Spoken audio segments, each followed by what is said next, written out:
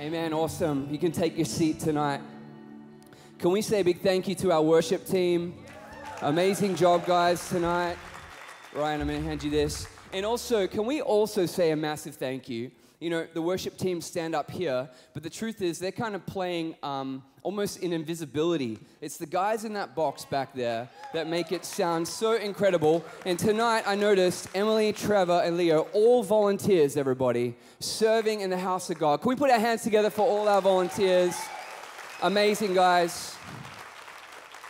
Well, my name's Zac, if we haven't met, and uh, I'm our creative pastor here at church, and it's a great pleasure just to share with you for a little bit from the Word of God. And I want to extend a welcome to you. Welcome if you're in the room with us, but a special welcome to everyone who's watching online right now on Facebook. We're so great to have you with us tonight. And uh, also a, a, welcome to everyone who's listening on podcast. I listen to the podcast while I run. So maybe you're listening right now and you're running. Keep going. You're doing great. You can make your PB. Maybe. And a uh, big hello to everyone watching on Review TV, nice and early on Sunday morning. Great to have you with us too. Now, to start our conversation, I want to talk to you a little bit about home renovations. Anyone a home renovator in the room? Show of hands. Oh, tough crowd tonight. All right, we're going to have to work hard with this. So, I love home renovations. It's like become a hobby of mine. And I think in my 10 years being a pastor now, I've realized that people aren't projects. So I kind of need other things to do. Uh, my wife was kind of my test case to try and you know make her better um, as a project, but it didn't really work out. And praise God, I've moved on to home renovations.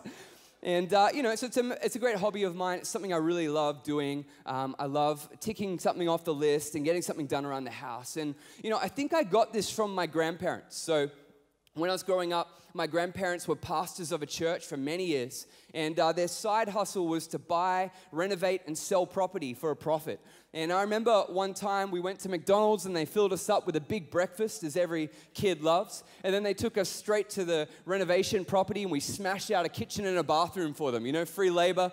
Um, it was fantastic though, and I think it's developed a bit of a love for it later in life for me. So I love home renovations. Um, you know, Claire and I have these dreams for our house. We want to knock out our back room and build a big extension. But, you know, that's a big project, and you've got to start small when you're starting with projects. And so I've been doing a few projects around the house, and I wondered, do you want to see some of them? Yeah, okay. All right, well, the first one I've been working on is a picket fence. And uh, so this is a before photo of what it used to look like at the front. It's kind of mid uh, preparation, but I wanted to protect the kids from the traffic and the dog. Um, and now this is what it looks like finished. Oh, come on, somebody. Thank you very much. No tradesman, just me. This is good for my confidence. Um, second one is that I've been working on a fireplace, so restoring a fireplace in my home. So here's what it looked like before. Um, you know, a bit grotty, lots of soot, and uh, I've, this is what now it looks like after. Oh, I hear the audible whoa. so, anyway, so I'm a budding um, renovator and I really enjoy it. But it's not just renovating, like, I love home reno shows. Anyone a fan of the block? Show of hands. You know, here's my thing with the block it's not really renovation, it's more about drama than it is about reno. So, you know, some other home reno shows, you know, we're talking about Bible characters, but I wish we could just talk all night about Chip and Joanna Gaines, everyone. Any Fixer Upper fans? Oh, I heard a clap up the back. That's awesome. Hey, can we get some light on the guys at the back? That'd be great. I'm struggling to see you. What about Flip or Flop? Anyone a Flip or Flop fan? No, bit of a flop. Uh, and what about Masters of Flip? Anyone like these guys? Dave and Courtney from Masters of Flip. I love this show. And you know, Courtney has this crazy talent. She matches her outfits to the color scheme of the finished renovation. That's just like talent right there. So, you know, watching home renovation shows um, just pump me up, man. Get me excited to do the next home renovation at our little house. But while I love home renos, one of my most hated job is the silicone, the gap filler. This stuff right here. Uh, so you have the gap filler, and then you have like a little gun. And what happens is the gun squeezes out this putty stuff that fills the gap between two surfaces. So you've got an unfinished product, and then this stuff fills it. But I hate it, man. I like I love putting together the bones of a build, but the gap filler I don't like. And there's three reasons, three reasons rather why I don't like it. Firstly, um, it's super messy. So as soon as you start squeezing that stuff, it comes out everywhere, goes all over your hands. Um, it's risky as well. You know, as soon as again you start squeezing, anything could happen. You could get it everywhere, all over your carpet but it also kind of hurts. You know, I'm like bending down, I have bad knees, and I'm like contorting my body into weird places and shapes to try and fill these gaps. But as I was recently renovating the fireplace, it dawned on me that this concept of the gap and filling the gap doesn't just exist in physical space, but it actually also exists in our cultural sphere and in our spiritual world as well. This idea in each of our lives that there is a gap a gap between reality and possibility, a gap between what is and what should be. You know, and as followers of Jesus, we often find ourselves standing right in the middle of that gap. Anyone feel me? Anyone relate to that?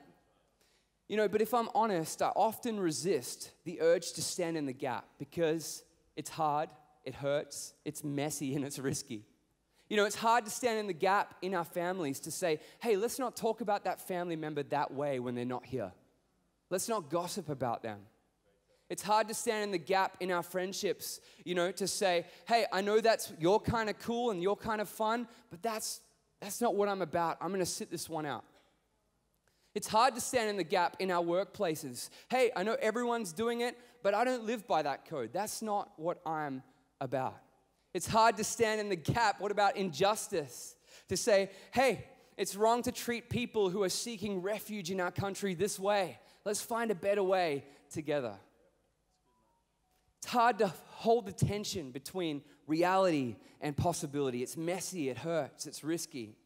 But I think God loves gap fillers. You know, I think He loves gap fillers because in the gap lies so much potential. See, take my fireplace, right?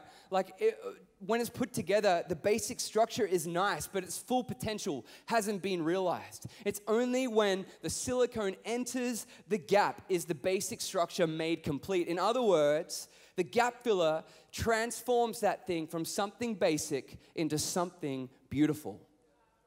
You know, God loves gap fillers. And our Bible character today is like the OG, the original gap filler for God. His name is Elijah or as I like to call him, Elijah, no more gaps. so, who was Elijah? Well, Elijah was a prophet um, to Israel from a foreign community called Tishbe. Everybody say Tishbe. Now, it's important to note that according to the scriptures, prophets aren't fortune tellers, they aren't uh, special people with magical powers or dream catchers. They're normal, ordinary people like you and like me that stand in the gap, that speak on behalf of God, calling out idolatry, injustice, and calling God's people back to full commitment to Him. So, prophets were called to stand in the gap between human brokenness and God's best for our lives, to be gap fillers. So, before we keep talking about Elijah, I want to explain a little bit of the gap that existed in Israel's history. It's important to understand what gap Elijah God was asking him to fill before we talk about Elijah himself. So, you with me? All right. So, the Elijah's story is found in the book of Kings. Everybody say Kings. So, Kings is a story about how Israel's kings, hence the name Kings, 40 or so kings it tells the story of, how they continually fall short of God's best and God's expectations. And Kings tells the story of the consequences of that. I mean, it's crazy stuff in the book of Kings. It kind of makes Game of Thrones look like Baby Shark. It's wild. In um, the story in Kings starts well. So Solomon, who inherits the kingdom from his father, King David, he builds the temple. And this is a place where heaven and earth meet, how heaven and earth collide, and God dwells with his people. But in the pursuit of more political power, uh, Solomon decides to marry a bunch of women from all the surrounding nations. And with those women, they, when they come to Israel, they bring with them their rituals, their practices, and their gods. And essentially, this leads to Solomon's downfall, instituting idolatry across the nation of Israel. And the, and the writer of Kings says that Solomon, at the end of his life, looked more like the Pharaoh that they ran away from than that of his father, King David. Isn't that sad? So, following Solomon is a tale of 40 something kids, kings, sorry, not kids, and it's a tale of greed, a tale of lust for power. And there's a split that occurs between Israel in a northern kingdom and a southern kingdom. Sounds a little bit like Perth, right? North and south. We battle it out. But the worst of all of the kings was a man called King Ahab, who was Elijah's arch nemesis. Listen to what it says about King Ahab in the scriptures. It says, Ahab did more to provoke the anger of the Lord, the God of Israel, than any of the other kings of Israel before him. Wow. What an MO, what a thing to put on your CV that you're the worst. so, the gap between human brokenness and God's best was absolutely huge. I mean, Ahab and Jezebel were cruel, terrible leaders. Um, they weren't faithful to the covenant. They worshipped all these other gods and instituted idolatry across the whole nation. They essentially broke every single rule that God gave them. Israel wasn't in a good spot, and clearly a gap filler was needed. So God raised up the best he had in Elijah. So, the question for us, if that's the gap and Elijah stands in the gap, what is it that we can learn from Elijah's life as we seek to be a prophetic people who stand in the gap between reality and possibility? Amen? The first lesson from Elijah's life relates to the issue of identity. So, introducing Elijah, the Bible writes this Now, Elijah, who was from Tishbe in Gilead, told King Ahab, As surely as the Lord, the God of Israel, lives, the God I serve, there will be no dew or rain during the next few years until I give the word. I mean, this is the first moment Elijah is introduced. Every other prophet in Scripture is introduced with, and thus says the word of the Lord, giving them an introduction essentially validating them. But Elijah just bursts on the scene like a bull in a china shop, you know, holding no punches back, just calling out Ahab on his rebellion and his corruption, declaring that the consequences of this would be a drought, no water across the whole nation. This tells us a few things, but predominantly that Elijah was a bold person. He was a pretty confident guy just to burst into the king and say this thing. But I don't think it's a human confidence or an arrogance. It's a deep faith with an understanding and stirred by an understanding and a deep conviction of who he is in God. And this is our first lesson from the life of Elijah that my identity in him means his authority in me. Amen? My identity in him means his authority in me. So Elijah's name literally means my God is Jehovah. His name points to where his identity lies. You know, people in Israel would have known who Elijah was, what he was about by his name, and who his name represented who he belonged to. So, my parents live in South Perth, and it's a beautiful place to live. It's really close to the foreshore. You can go on bike rides and rollerblading, whatever you want to do. South Perth's wonderful. Um, and every year, there's a particular show in South Perth called the Fireworks. Anyone go down to the fireworks every year? And if you know and if you've been, they lock down the whole area of South Perth. Like you can't get in. Um, so people park all over the place, all in Vic Park, and walk kilometers down. But not me. Because of my identity and my belonging to the Gageler family, I have full access, people. I just flash my little driver's license that says who I am, and they let me straight through into the restricted area. And because of who I am, but more importantly, who I belong to. You know, you belong in the family of God. We sung about it tonight. You belong in the family of God, and your position in His family is permission to stand for Him. Paul says this in Galatians 4. He says, Because we are his children, God sent the Spirit of his Son into our hearts, prompting us to call out, Abba, Father. Now you are no longer a slave, but God's own child. And since you are his child, God has made you his heir. Isn't that great news tonight? To recognize the authority that is given to you in Christ Jesus. My identity in him means his authority in me. Can you say amen? So it's important to note that Elijah's identity and his sense of self didn't come from their authority, but from God's. See, Elijah wasn't an Israelite. He clearly did not fit the mold of what would constitute authority within Israel. Um, and King Ahab, you know, kind of gets a bit frustrated by this and flips his, little bit, uh, his lid a little bit. Listen to this in 1 Kings 18. He says, When Ahab saw him, he exclaimed, So, it is really you, you troublemaker of Israel. I've made no trouble for Israel, Elijah replied. You and your family are the troublemakers. Shots fired. But can you imagine if someone came up to me after tonight's service and said, Hey, Zac, you troublemaker of Riverview? You know, one, that'd be a bit weird because I'm not a troublemaker, I'm a nice guy. But if they did, you know what? To be honest with you, I'd probably be a little taken back. And those words might stick a little bit. They might shape a bit of what I think about myself. But Elijah's strong reply shows that his identity was not shaped nor affected by what people thought about him or what they said about him. And church, I want to encourage you don't let your identity to be shaped by what they say about you. Allow it to be shaped alone by what he says about you. Here's a few things he says. He says, You are greatly loved by God, that you are God's workmanship created in Christ to do good works, that you are an ambassador for Christ, that you are a chosen generation, a holy nation, that you are born of God and the evil one will not touch you, that you are complete in Him who is the head of all principality and power. Come on, can you give God thanks tonight that you are found in Christ Jesus? So Elijah's ability to stand in the gap is because he understood that my identity in him means his authority in me. So we know that Elijah uh, was a foreigner. He was from Tishbe on the eastern side of the Jordan River. Um, and commentators helpfully tell us a few things about these people and how they were different from the Israelites. So they say that um, people from this area were normally hard nosed, rugged, tanned, leathery, and particularly hairy. Yeah, a little bit like Dan Byrne over there, uh, lead guitarist. He's super hairy and leathery.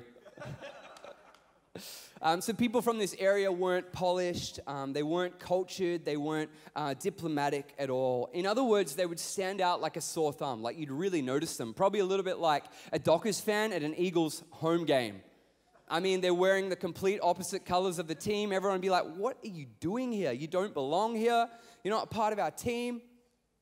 So people in Israel would have noticed Elijah and they would have felt like he was a little bit weird a little bit weird. He doesn't look like us, he doesn't talk like us, he doesn't act like us, he doesn't walk like us, he doesn't work like us.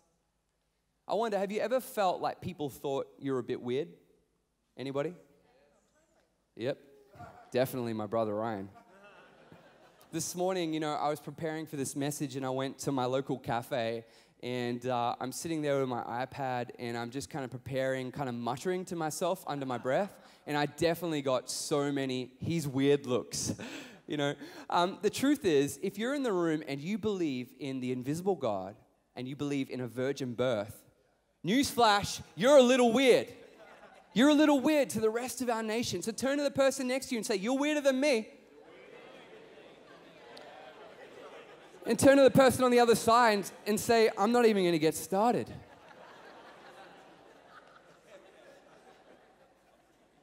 Don't worry, you, me, Elijah, we're all in this together.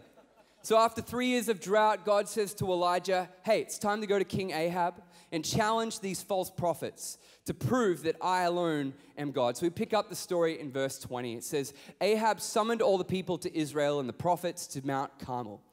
Then Elijah stood in front of them and said, How much longer will you waver, hobbling between two opinions? Next slide. If the Lord is God, follow him. But if Baal is God, follow him.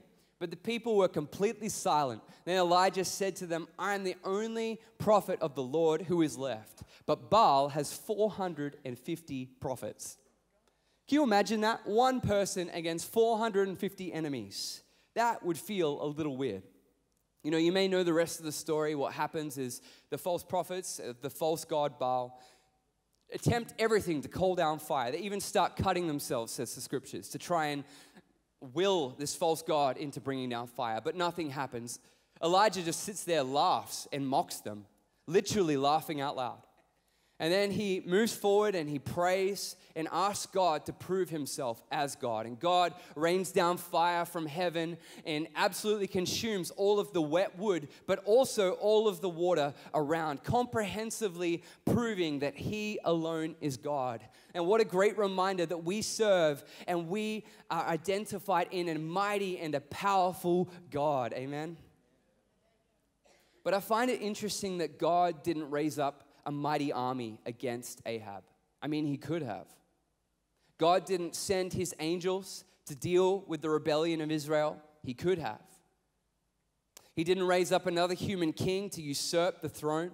Instead, he sent a weird lone ranger, a foreign prophet.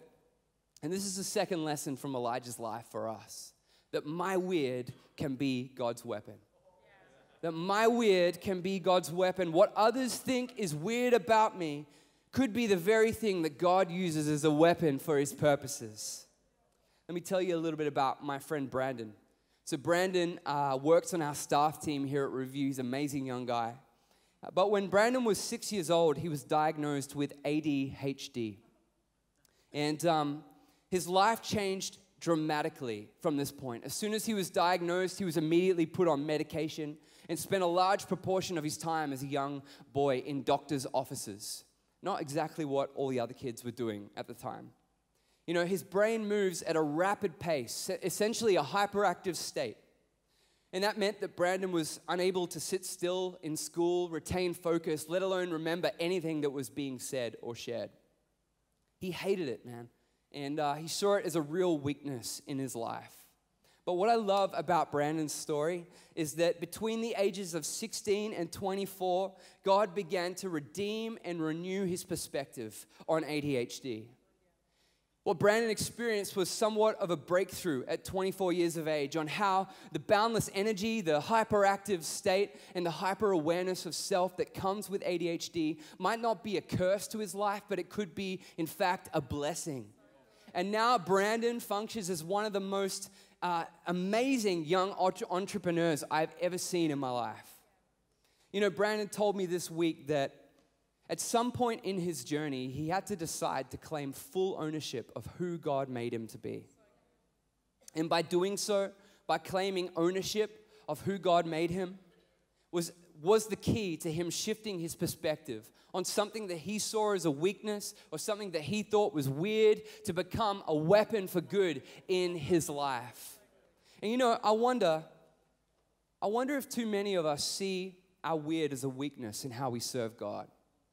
You know, my relationship status, God can't use me. My family of origin, man, there's just too much baggage, there's too much hurt. God can't use me. My level of education or lack thereof, God can't use me. My financial situation, how much money or success I've had, God definitely can't use me. But what if we didn't disqualify ourselves? What if we could see that my weird could be God's weapon? What if, like Elijah, we could declare, God, if you place me against these 450 enemies, if you place me in this situation, if you put me in this environment, if you put me in this school, if you put me in this university, if you put me in this workplace, if you put me, God, in this church, you must want me here. Maybe God wants you here. It's time to reclaim your weird and see it as a weapon for God. Instead of asking for an escape from your situation, maybe it's time to renew your perspective. So, what's your weird? Embrace it. What's your weird? Where has God placed you? What is He asking of you? You know, the truth is, standing in the gap comes with pressure.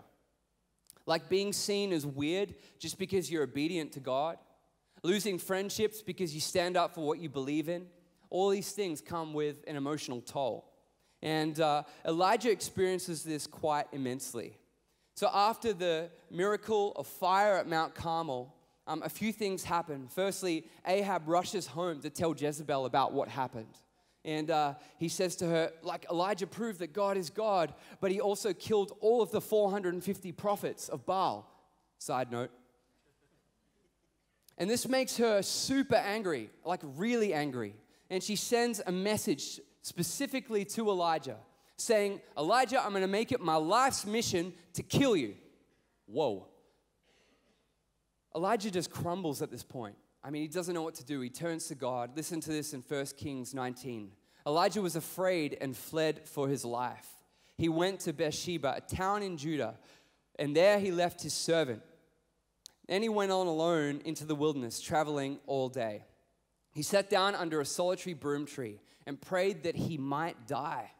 I've had enough, Lord, he said. Take my life, for I am no better than my ancestors who have already died. I mean, this is like a complete U turn from the Elijah, this strong, bold Elijah, this confident Elijah that stood at the prophets of Baal mocking them. right here, we see Elijah broken. And this tells me a few things. Firstly, that Elijah is a normal human. that Elijah isn't just this no more gaps prophet, but he experiences the pain and the mess and the hurt of standing in the gap. And he's someone that we can relate to and learn from because he's like us. But secondly, it tells me that when it comes to standing in the gap, pressure is par for the course. Pressure is a part of our life. We know that. Jesus said, In this world, you will have trouble. So it's not whether we'll experience pressure. The question we must ask is how do we release pressure in our lives? Well, let's listen to what happens in Elijah's story in verse 5. It says, He there, there, then, whoo, then he lay down and slept under a broom tree. But as he was sleeping, an angel touched him and told him, Get up and eat. He looked around, and there beside his head was some bread baked on hot stones and a jar of water. Delicious. So he ate and drank and lay down again. Then the angel of the Lord came and touched him and said, Get up, eat some more, or the journey will be too much for you. He got up, ate, drank, and the food gave him enough strength to travel for 40 days and 40 nights to Mount Sinai, the mountain of God and there he came to a cave where he spent the night. So, this is the third lesson from the life of Elijah that his presence releases my pressure. His presence releases my pressure. So, Elijah's pressure is released through physical and spiritual nourishment in the presence of God. In other words, Elijah's ability or authority to lead is linked to his ability to feed. His authority to lead is linked to his ability to feed and nourish himself. So there's two places he does this. Firstly, at the broom tree. And uh, this represents the place of rest. And this is where God asks Elijah, just get up, eat some bread and some water that I've prepared for you, and sleep again. Rest. You know, I love through this passage that it tells us that God is interested in our physical state. God is interested in our physical state. You know, it's not rocket science. If you're feeling the pressure, it might be time to get a good night's sleep. If you're feeling the pressure, it might be time to stop throwing shade at everyone else and sit under the shade. Oh. Release the valve of pressure in your life by getting a great sleep, eating, exercising, and getting some rest. That's God's best for our life. And it's important that we do that. Secondly, God meets with Elijah at Mount Sinai, and this represents the place of restoration where God meets and dwells and encounters Elijah. You know, this tells us that worship, prayer, and time in the presence of God in the Word doesn't just bring survival to our lives, but it brings vitality to our soul. Worship, prayer, and time in the presence of God is like a decompression chamber for our souls. So, where is God trying to release pressure in your life? It might be time to get into His presence. His presence releases my pressure. You know, one of the realities that Elijah faced in this moment wasn't just pressure, but the absolute exhaustion that came as a result of that pressure. Verse 9 says this The Lord said to him, What are you doing here, Elijah? Elijah replied, I have zealously served the Lord Almighty, but the people of Israel have broken their covenant with you torn down your altar, and killed every one of your prophets. I'm the only one left. And now they're trying to kill me too. So Elijah, in this moment, comes to God and says, God, I've done all of these things that you've asked me to do. I've done all of this for you. I've been zealous and passionate about your call. But it's amounted to nothing. You know, Elijah's emphasis right here on what he's done for God reveals to us that he's experiencing something called burnout. He's in a place of burnout. Have you ever experienced burnout before? Maybe you're lacking the energy and the motivation to stand in the gap because you're burnt out, you're tired, you're weary. You know, I love that God doesn't criticize Elijah, but he encourages him by his spirit. He shows him something pretty important. Listen to this in verse 11 Go out and stand before me on the mountain, the Lord told him. And as Elijah stood there, the Lord passed by, and a mighty windstorm hit the mountain. It was such a terrible blast that the rocks were torn loose, but the Lord was not in the wind. After the wind, there was an earthquake, but the Lord was not in the earthquake. And after the earthquake, there was a fire, but the Lord was not in the fire. And after the fire, there was a sound of a gentle whisper.